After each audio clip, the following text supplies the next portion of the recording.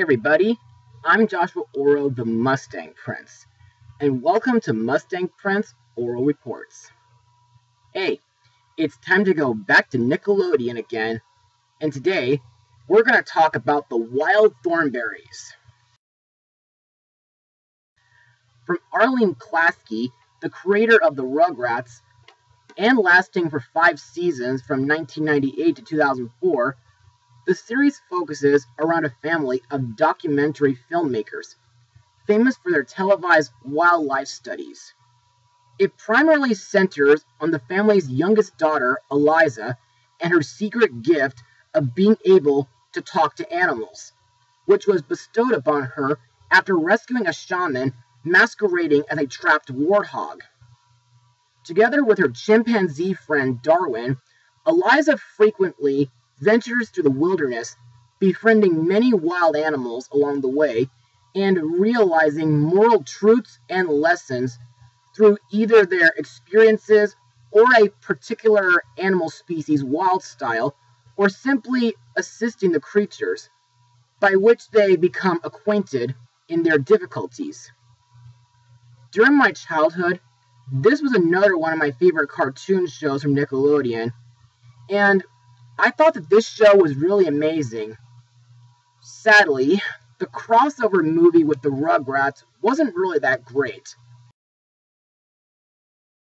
But for this episode, we're going to look at the Thornberry family's solo movie and see how it holds up today. Released on December 20th, 2002, this is the Wild Thornberrys movie. So, let's get started. When Eliza tries to save a cheetah cub named Tally from a pair of poachers in a helicopter, her paternal grandmother, Cordelia, who visits the family, decides it's high time that Eliza gets a civilized education at an English boarding school. Later, during her stay in London, Shaman Mnyambo tells Eliza in a dream that Tally is alive and she can still save him which gives Eliza the courage to go back to Africa. While Eliza is heading back, her family is preparing to record a miraculous event where thousands of elephants emerge from the safety of the forest to watch the solar eclipse. Unfortunately, a group of poachers want to hunt down the elephants for their tusks. When Eliza discovers what the poachers are up to, she, along with Darwin, Donnie, and her sister Debbie must devise a plan to stop them. So, does this movie still hold up after 18 years? Well, I say yes. And also, I think it's a major improvement over another animated Nickelodeon movie that was released the exact same year. Since Hey Arnold's theatrical movie was not the film that fans asked for. But Let's move on to Mustang notes. Now, since there's not a lot of trivia to talk about, let's talk about the animation. And to be perfectly honest, I think the animation is absolutely excellent. And due to the cinematic budget, it looks very high definition. I really love how the African environments look, from the savannas to the jungles. But overall, Tembo Valley would have to be my favorite due to not only the final climax, but also due to the solar eclipse. Also, I kind of like that this film features London, since it's been about 10 years since my last visit there. Unfortunately, we don't see too much of it in this movie. Also, I think the film has an underrated soundtrack. However, my favorites would have to be Animal Nation by Peter Gabriel and Father and Daughter by Paul Simon, which was nominated for an Oscar for Best Original Song, but it sadly lost to Lose Yourself by Eminem for 8 Mile. As for the story, well, I think this film takes place between the show's fourth and fifth seasons, and while it is good, sometimes the movie can feel a bit rushed, like at the English boarding school or the act after Eliza loses her powers until after she saves the elephants. Plus, there are some parts that are fun, heartwarming, intense, and thought provoking, and a few other scenes that can be a tad immature, silly, and gross at times, like a food fight, a poop joke, and a baboon's butt. But on the other hand, most of the movie brings back memories from a few past episodes, like Gift of Gab and a few others.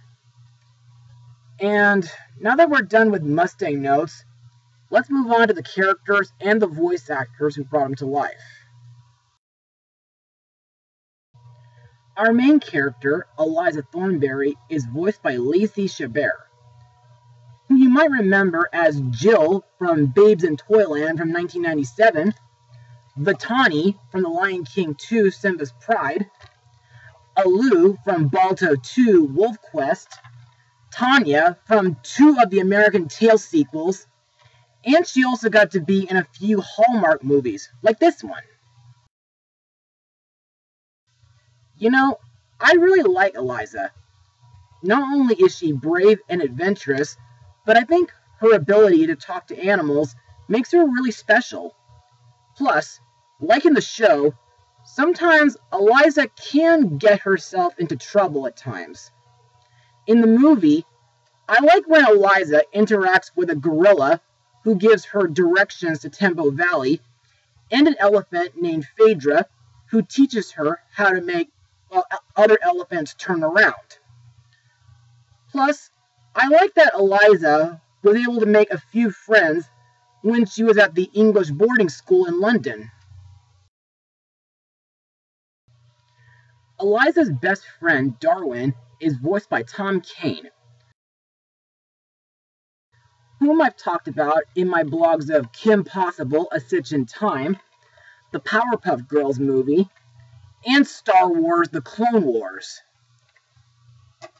While Darwin is Eliza's most loyal companion, there are times when Darwin can be a bit paranoid, but at the same time, he tries to be the voice of reason for Eliza. Next, we come to Eliza's parents, Nigel and Marianne, voiced by Tim Curry and Jodi Carlisle.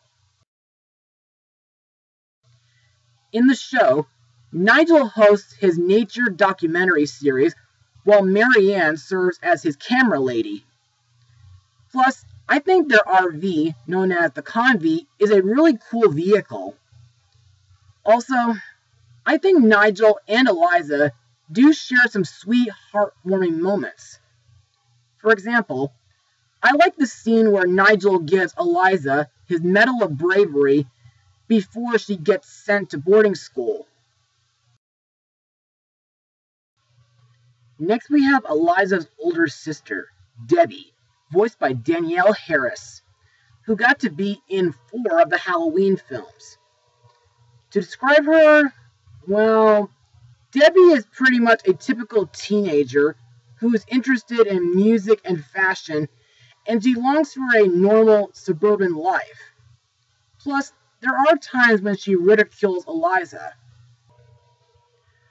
Also, in the movie, Debbie learns about Eliza's secret after she reveals it to the poachers, which makes her amazed that Eliza would give up her gift to save her life. And Debbie promises to keep her secret, otherwise, she'll be turned into a baboon. Also, I like the part where Debbie reminds Eliza that she has been helping animals long before gaining her powers, which restores Eliza's confidence. Next, we come to the hyperactive Donnie, voiced by Red Hot Chili Pepper singer Flea. Donnie is a feral boy who was raised by orangutans after his biological parents were killed by poachers long before the Thornberry family adopted him. You know, I find Donnie to be pretty funny at times, due to him having a lot of energy, and he can be hard to control. Also, Donnie will pretty much eat practically anything, including bugs and plants, and he enjoys speaking in a unique form of gibberish, and he loves doing the wedgie dance. Nigel's mom, Cordelia, is voiced by the late Lynn Redgrave, who got to be in the 2003 Universal version of Peter Pan and the underrated Lion of Oz. Now, I kind of have mixed feelings for Cordelia due to the fact that she has a difficult time showing how she is proud of her son and she wishes that he and his family could do something besides travel all over the world and document wildlife. Also, in the film, Cordelia takes an antagonistic role here, in which she forcefully sends Eliza to a girls' boarding school in London due to her belief that Eliza playing with animals is unorthodox and uncivilized.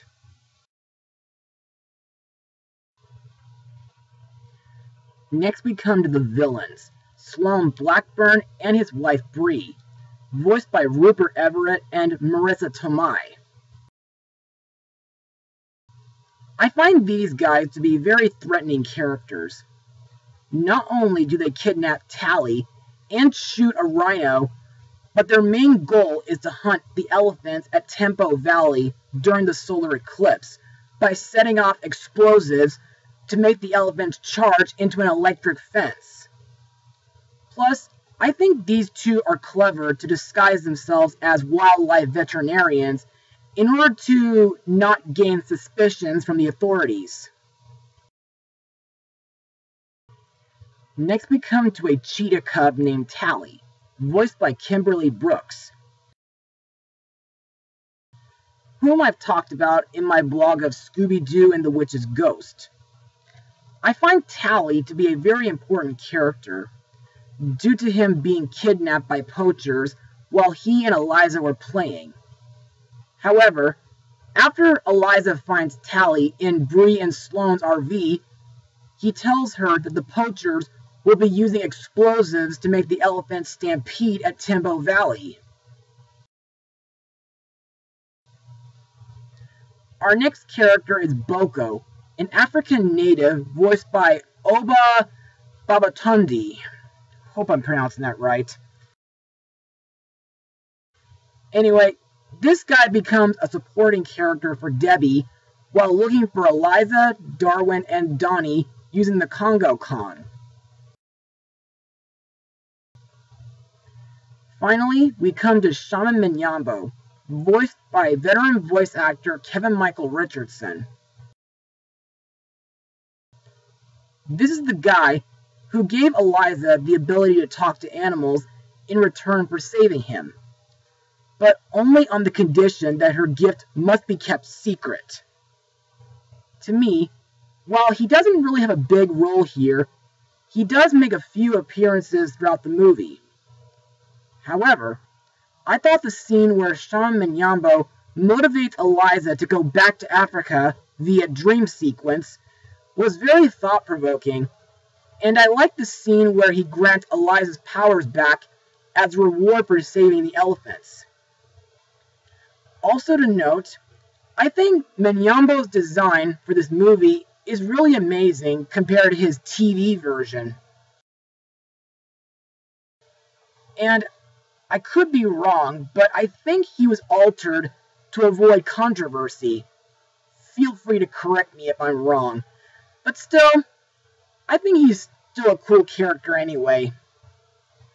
Other voice actors in the film include Brock Peters as Ranger Jomo, Alfre Woodard as Tally's mother Akela, Chris Thummer as the elephant Phaedra, Melissa Greenspan as Eliza's roommate Sarah, Roger Jackson as a horse named Thunder and a squirrel named Reggie, Billy Brown as an injured rhino, Earl Boen as a gorilla, and even Tara Strong Hynden Walch, and Mae Whitman as the schoolgirls who Eliza makes friends with in London.